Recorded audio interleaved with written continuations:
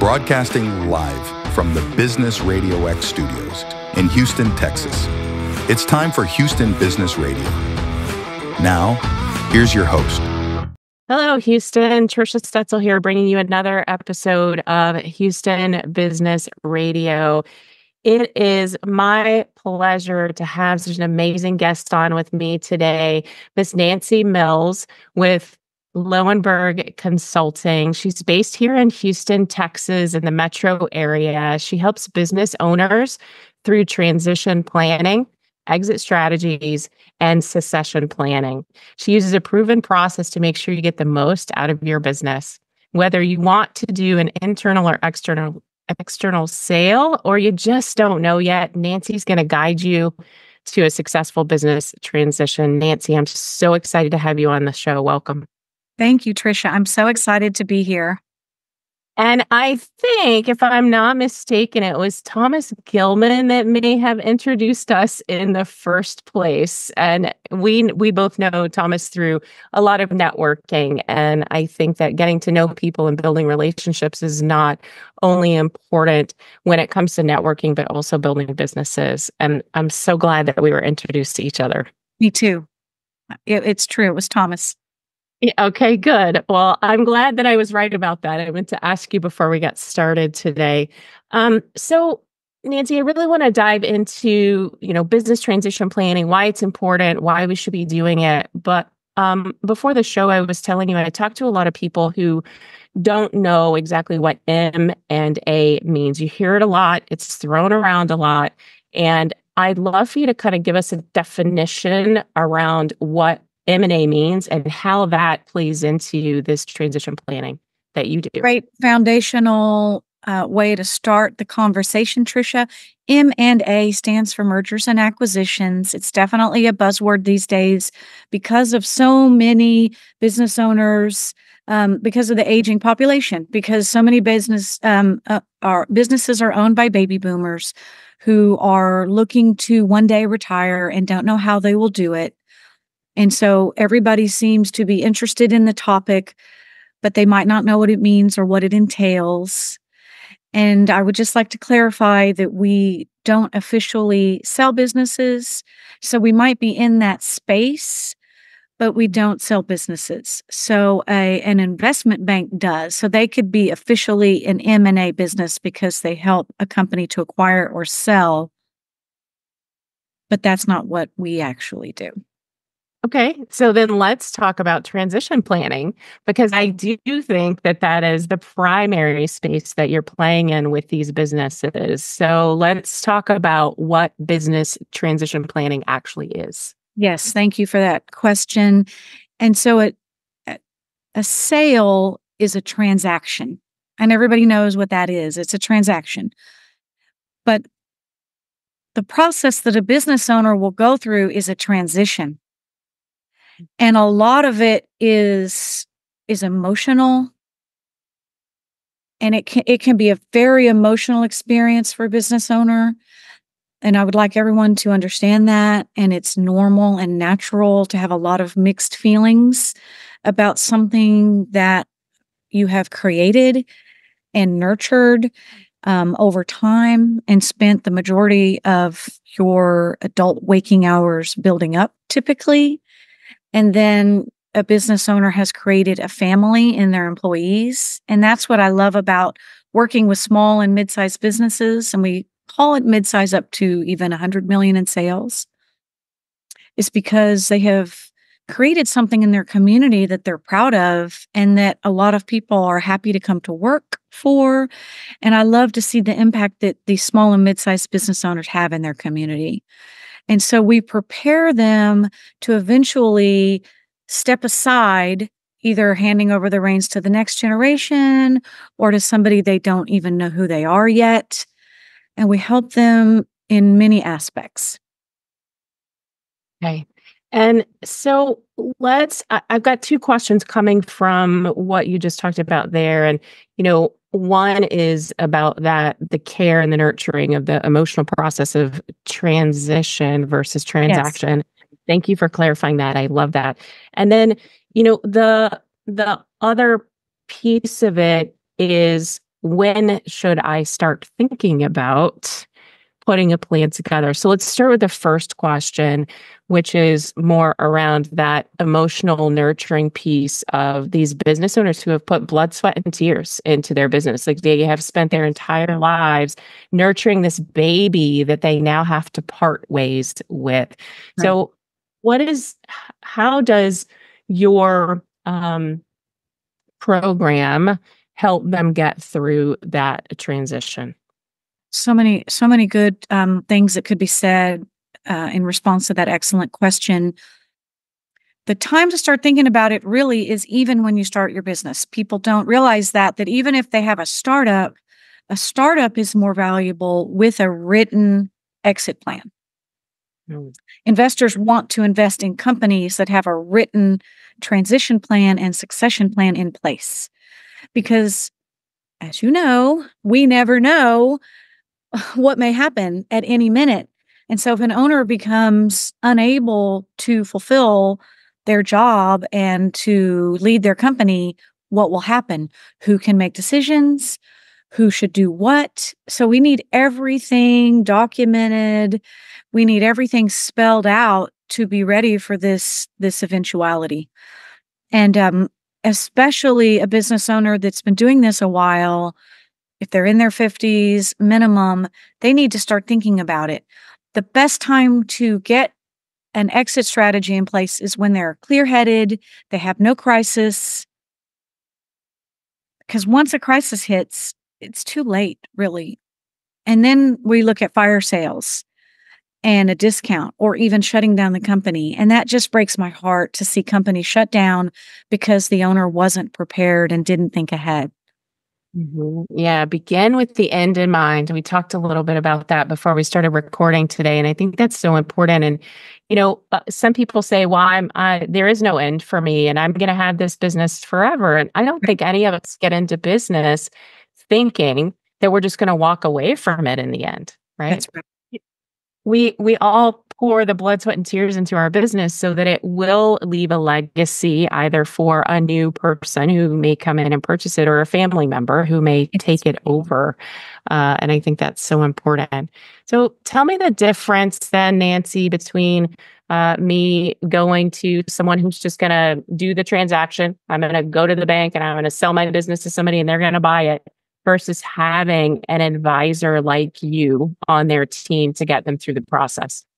Let's think about why they would need to do that because we it's so normal for someone to think about I'm starting my business, I'll work until the end, which is great. I love it that people don't want to retire. They people tend to think about retirement equaling death with people in great in uh, you know having a great physical condition, great mental condition, they find their vitality through their work and through their interactions with their employees. That's a wonderful thing. That's a beautiful thing. We never encourage someone to walk away from that, but they want everything to be in place for that inevitable something that will happen to them because we all exit our businesses. One day, in some form or another, we will exit our businesses as we will exit this earth. So, do you want it to go the way you plan it or the way the probate court is going to decide for you? We want you to be prepared. And so, uh, the other part of your question on that was please remind me. Yeah, no, that's okay. Having an advisor versus not having somebody on your team. Yes. So, people think we'll work, we'll work, we'll work. One day we will market the company and then we'll get this big chunk of cash and we'll do our next thing, whatever that next thing is. Mm-hmm.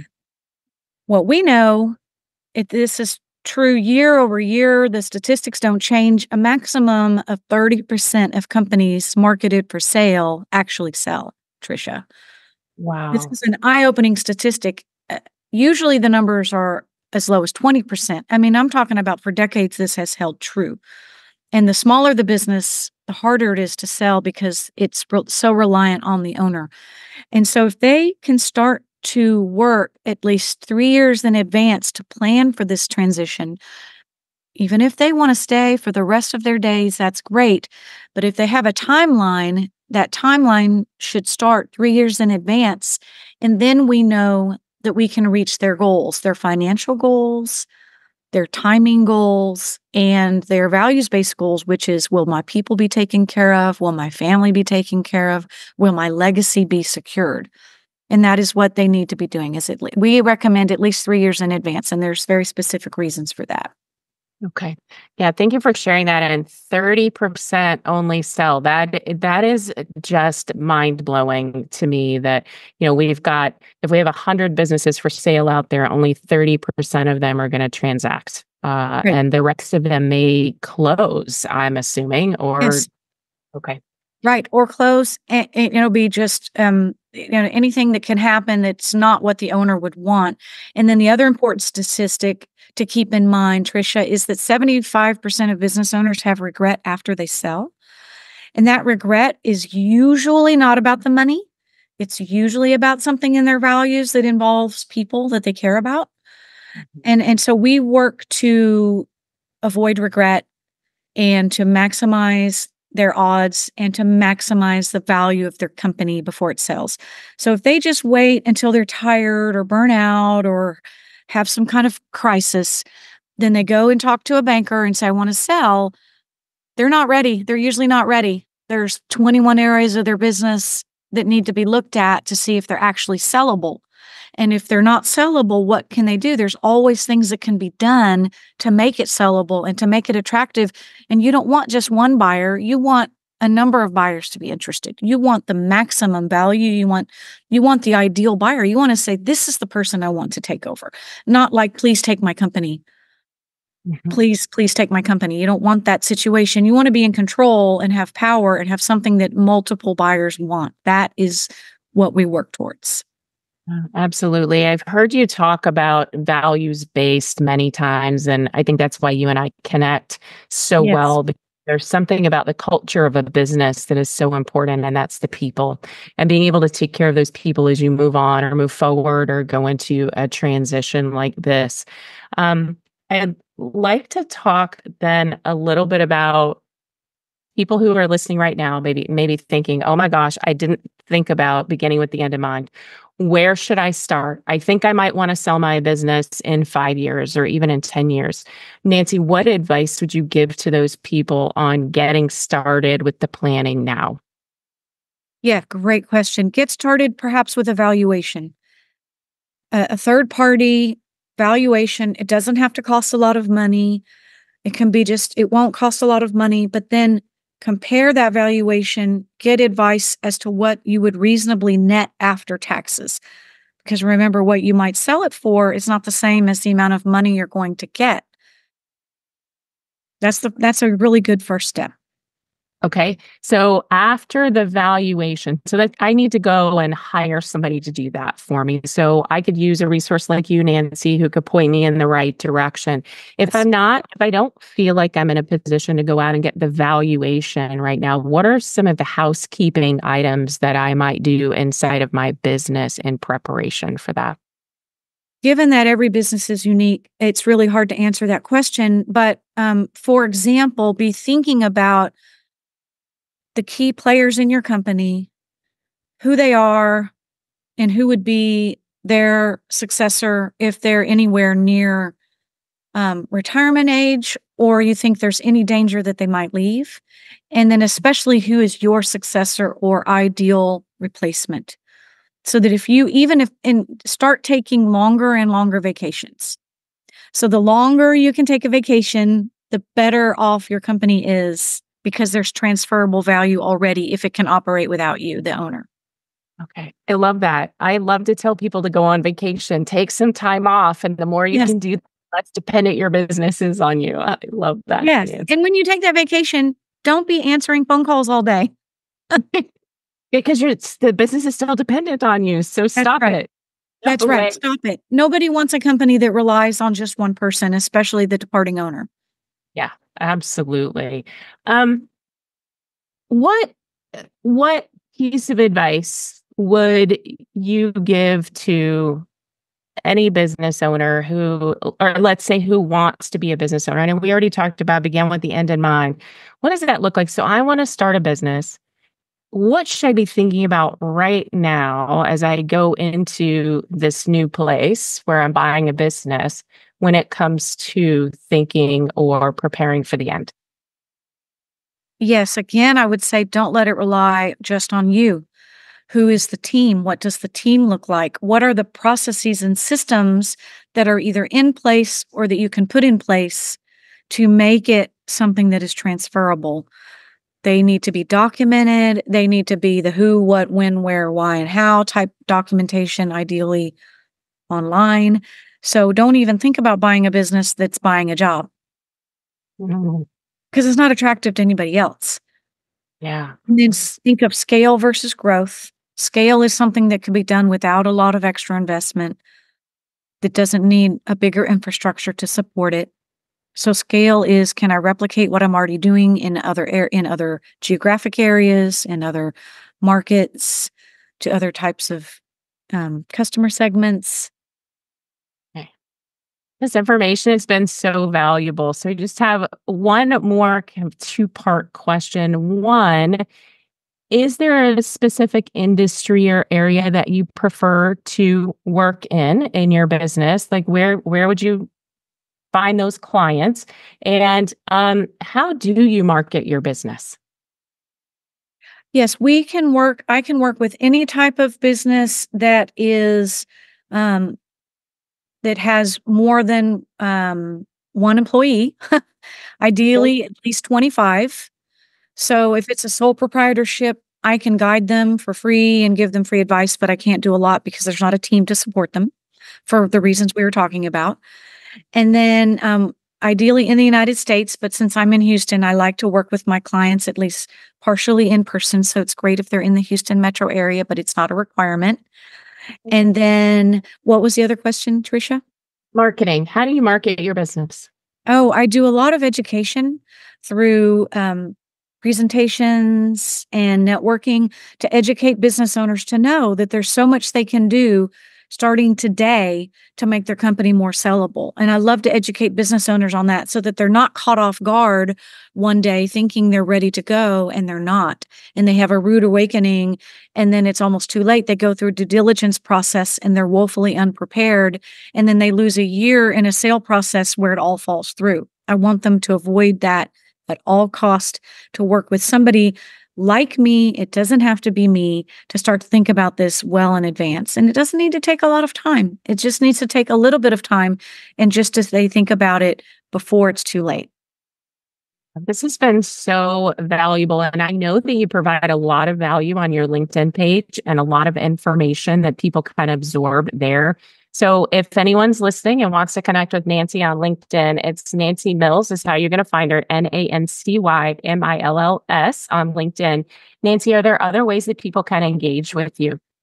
Yeah, Lowenberg Consulting is spelled L O W E N B E R G. It's all E's, there's no U.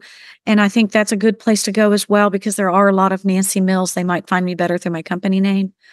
And uh, I'm happy to answer any questions that anybody has at any time. I give plenty of free advice, and I just love to help people to achieve their their dreams and their goals and to leave a legacy in their communities because we depend on the business owners to make a difference in the communities. And that's what I love about what I do.